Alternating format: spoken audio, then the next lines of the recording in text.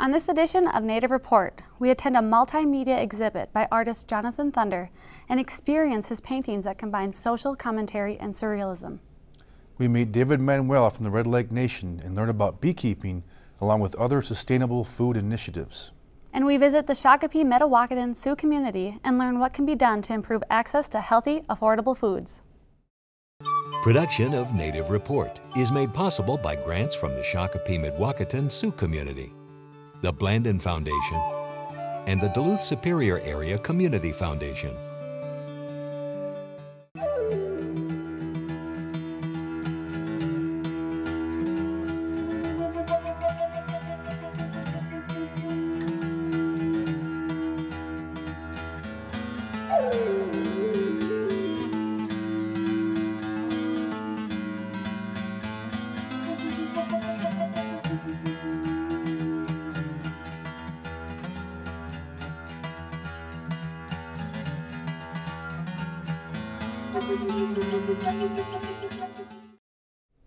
Welcome to Native Report. I'm Rita Aspinwall. And I'm Ernie Stevens. The images that Jonathan Thunder creates are dreamscape representations of the world he sees and experiences around him. They are a blend of social commentary, pop culture, and surrealism that bring traditional cultural motifs into the present. Join us now as we attend his exhibition.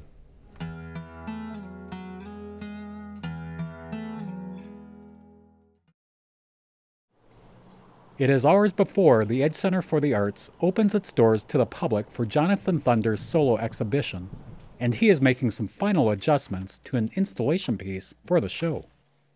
It's my drawing table, a bunch of ink drawings that climb up the wall. Uh, I have a, a friend that's an installation artist, and I wasn't exactly sure if it's a big space. I wasn't exactly sure if I had enough paintings for it, and it turned out that I did but uh, he suggested that I do an installation piece. The title of this show is uh, The Politics of Dreams Defying Dilettantism, which for me is, um, I think a general definition of the word dilettantism is uh, somebody who's a dabbler. And for me, I've taken my dreams and my artwork to a level where I'm, I wouldn't consider myself dabbling in it. I'm, I'm pretty much fully immersed in the process of trying to put that on canvas and present it at my shows. I've said that it, my paintings and my work come from the same place that dreams come from. And this year I've done a lot of focusing on uh, that concept, you know, like working from intuition, working from dreams. Many of the canvases are large, the colors bold and striking, and the subject matter may be open to interpretation by the viewer. Other paintings do have deliberate meanings conveyed by Jonathan. That diptych is called The Most Dangerous Game, and it's about the game of love.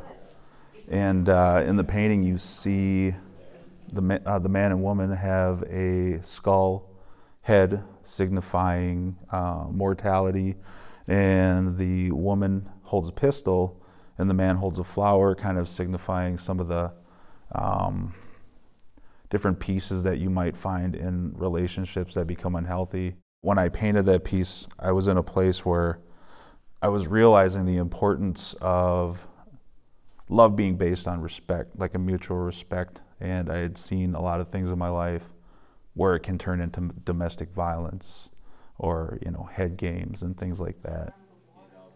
That painting is called The Hand of God.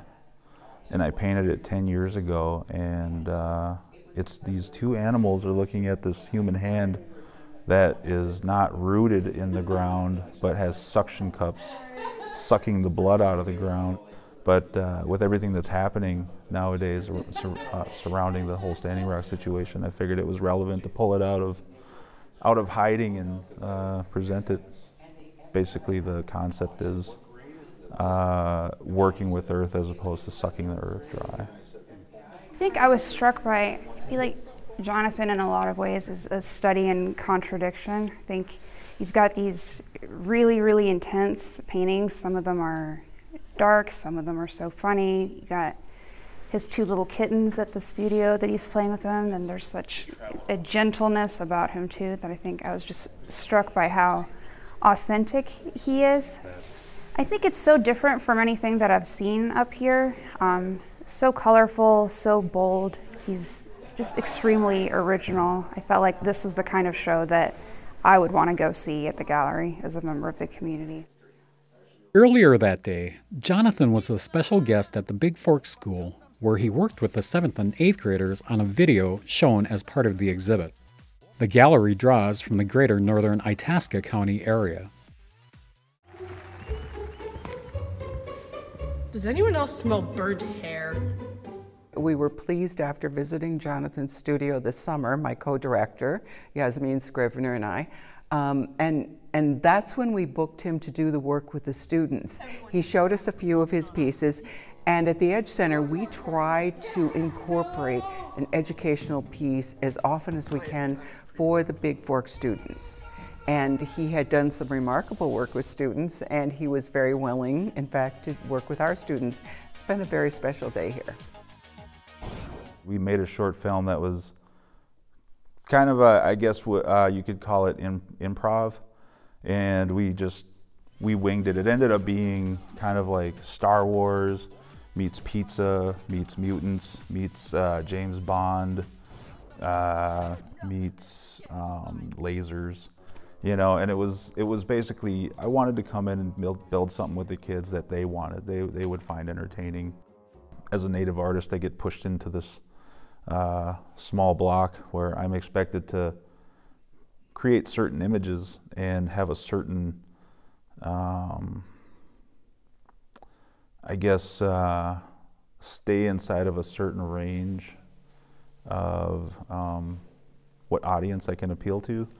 And I think that sometimes we forget about where art has been, you know, and some of the early artists, some of the early painters really pushed the boundaries. The large canvases are, for me, it kind of pays homage to the, uh, the heritage of painting, the roots of painting. when I was studying painting, I noticed that a lot of the old school, like old masters painted on large canvases. Colors in my paintings, I would say, are uh, something that's always appealed to me. I trained in the Southwest, where I studied painting at the Institute of American Indian Arts, and during that time, I was uh, surrounded by a lot of vibrant colors, and I've been told that uh, uh, that's kind of signature, like people can recognize one of my paintings. I wouldn't think that I'm afraid of the concept of fame. Um, I think with Facebook and things of the like, we're all kind of, you know, like famous if you really look at it. And for me, uh, my profession is to just do artwork.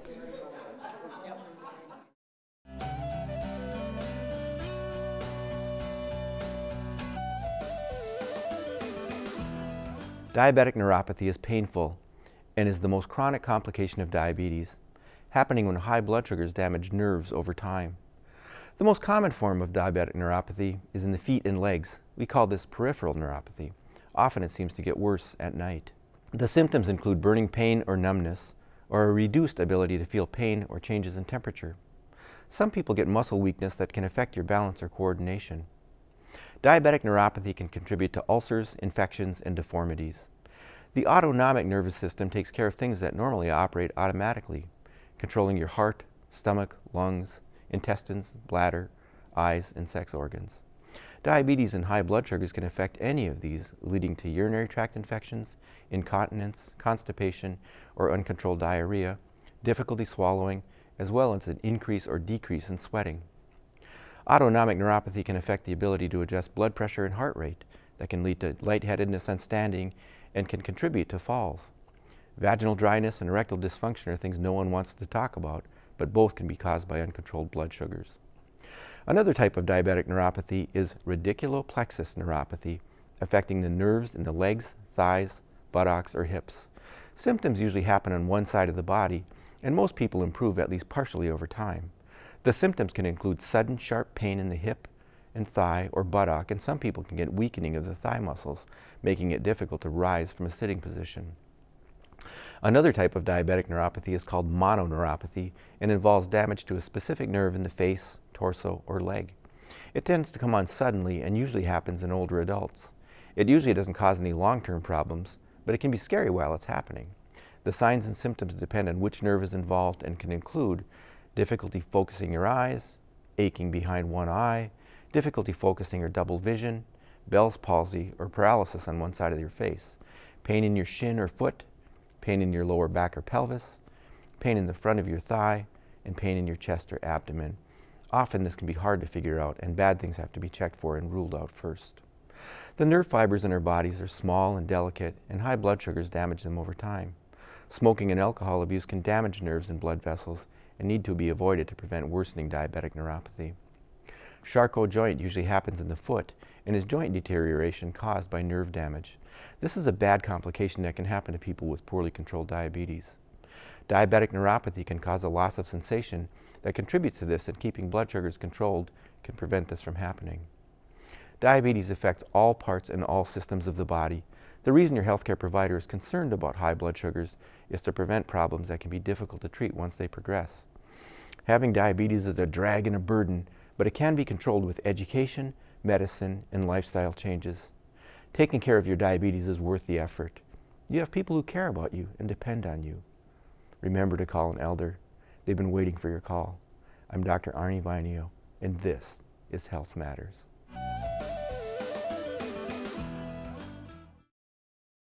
Depending upon the season, David Manuel of the Red Lake Nation can be found either in the woods, on the lake, in his garden, or tending to his honeybees.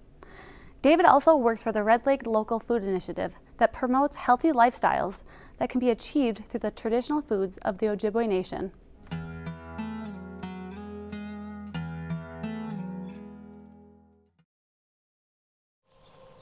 It is a cool summer day, and activity around Dave and Laura Manuel's beehive is slow. Their decision to try their hands at beekeeping is because they both like the idea of making their own food. I got interested in, in uh, beekeeping uh, by attending a, a bee workshop held in Bemidji uh, about three, four years ago. There was a workshop, and uh, my wife and I attended, and we just got the bee bug. I just like the idea of it, um, having also been uh, doing a lot of reading about uh, colony collapse disorder and how our, our uh, pollinators were being threatened. I just thought I could uh, do something, do something positive about beekeeping and, and keeping bee, uh, honeybees going. Uh, even though we have our own indigenous bees here you know, in our nation. But I just like the idea of, of, of making honey. Like we enjoy doing it. There, there are a few beekeepers in and around the Red Lake region, so this has been a learning experience for the couple. What I've learned is it's really tough uh, in this northern climate to winter bees. In fact, I only know of one person that successfully wintered bees, and he lives in Nashwauk. Um, in fact, our bees died last year, and we did try to winter them, but they didn't survive. And I think about my bees in one hive. I know they start out in the thousands, but they can, I think they go up to 20 some thousand at the height of their uh, activity in, in foraging for pollen and nectar. It's a little cold today, um, it was raining earlier, so their activity has died down to where they're probably uh, most of them in the hive. They're really quiet right now. Here we have four segments of hive. The two smaller upper ones are called supers. That's that's beekeeper lingo for where uh, as as the season goes on.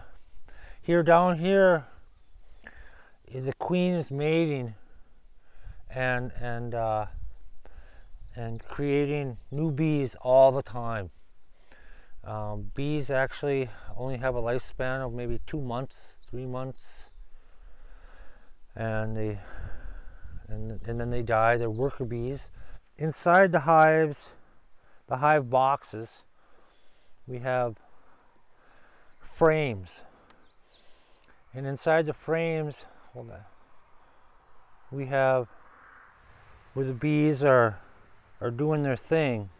But you'll see on the top of the frame, where they are uh, capping off honey. So this hive here is in pretty good shape.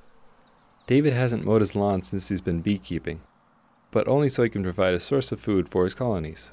Beekeeping is one way the Manuels keep past traditions alive in the present. They also make maple syrup, harvest wild rice, go berry picking, and hunt. I find myself drawn to these these uh, activities that uh, find me outside, you know, in the sun or in the rain uh, or in the snow, and I just find myself happy doing those kinds of things. I think we as uh, Indian people need to reconnect with uh,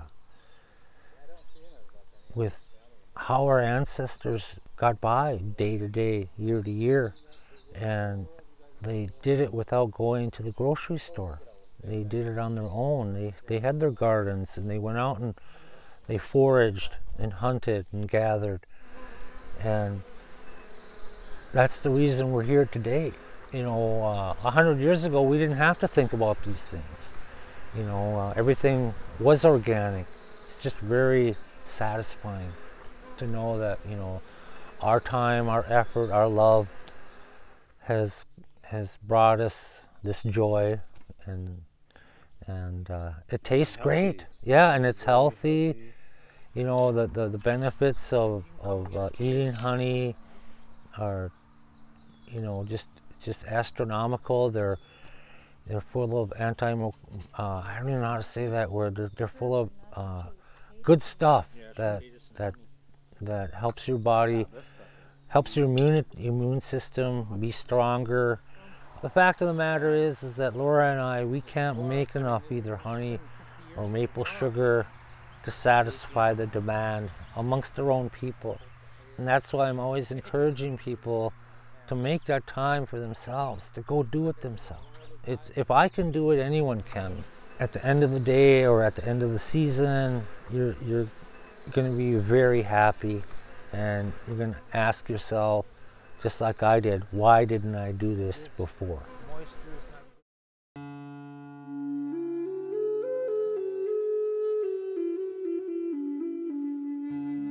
I have written an article saying that it was it's a miracle that we are here, that we are here at all because we survived the Revolutionary War, where many of our men were killed. Uh, the women also fought in the Revolutionary War. And after the war, uh, quickly on the heels of the war, came the Indian Removal Act. And uh, President Jackson was bound that all the tribes east of the Mississippi were going west, and we were one of them. And we arrived here where there was plenty of food uh, sufficient for the people, but they had no they had no uh, shelters. There were no shelters here when they arrived, and uh, they couldn't plant their gardens for their beans and squash and corn um, when they arrived the first year. So history, all of that detail of daily living for our ancestors is is really um, really exciting. It's more exciting than anything you can get on TV, as far as I'm concerned.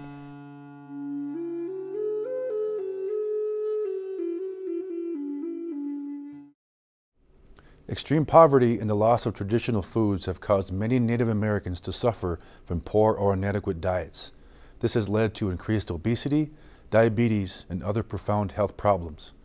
Seeds of Native Health is a multifaceted national campaign supported by the Shakopee, Mdewakanton Sioux community that seeks to improve Native American nutrition.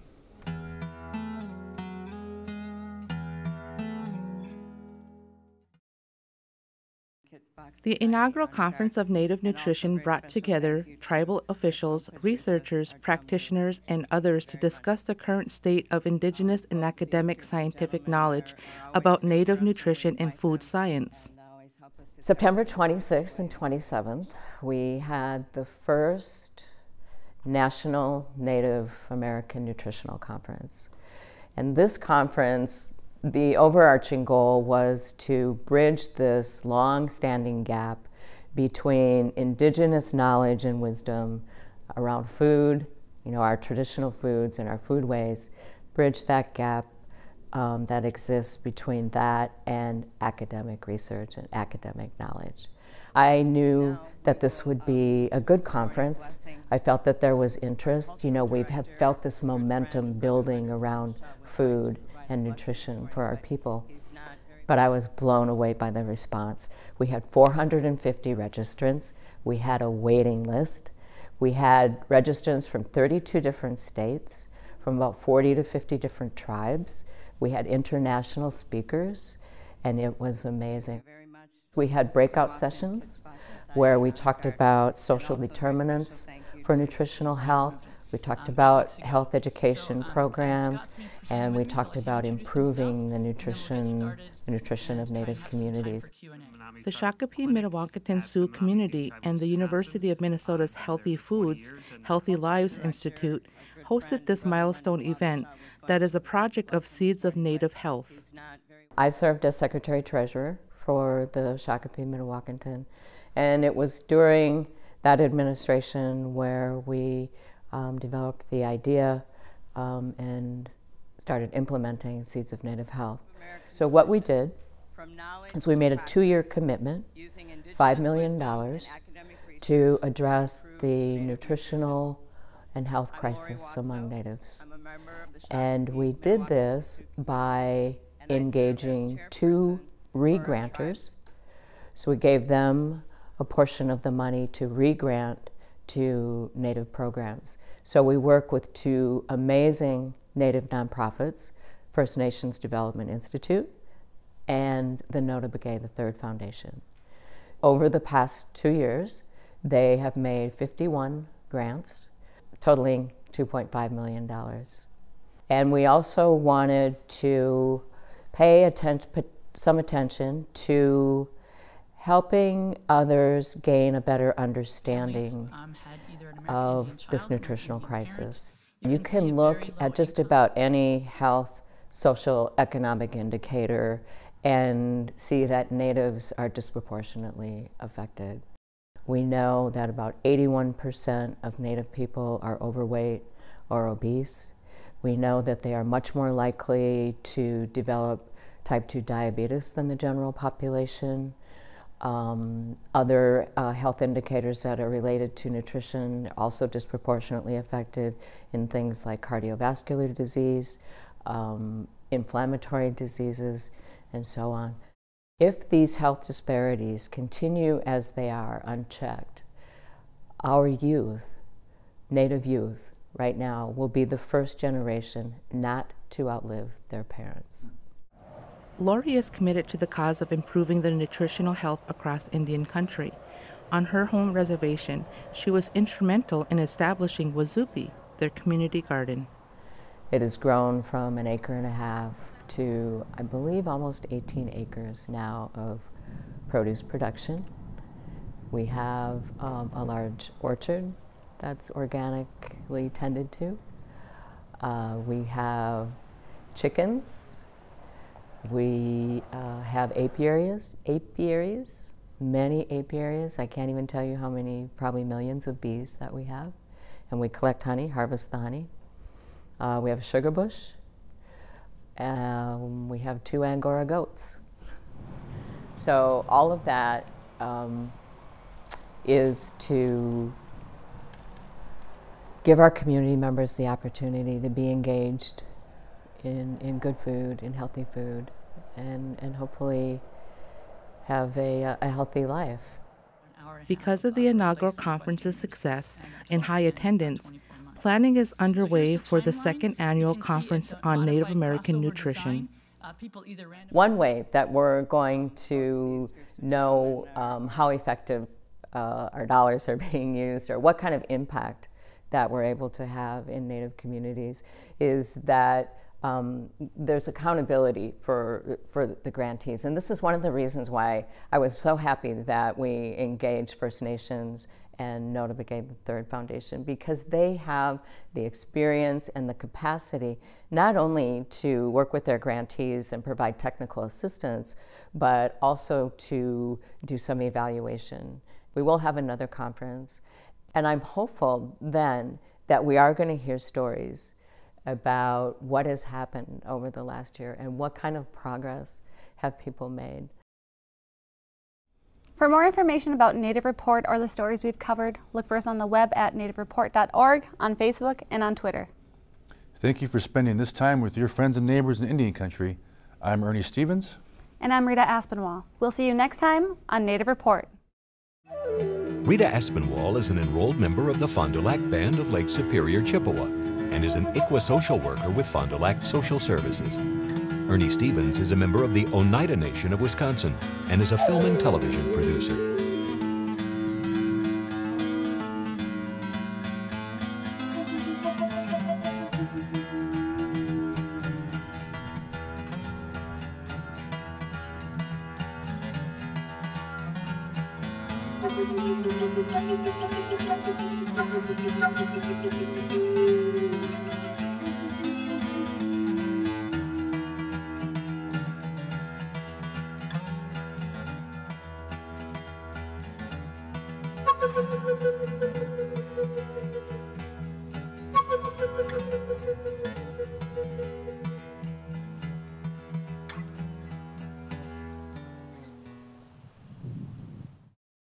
Production of Native Report is made possible by grants from the Shakopee Mdewakanton Sioux Community, the Blandin Foundation, and the Duluth Superior Area Community Foundation.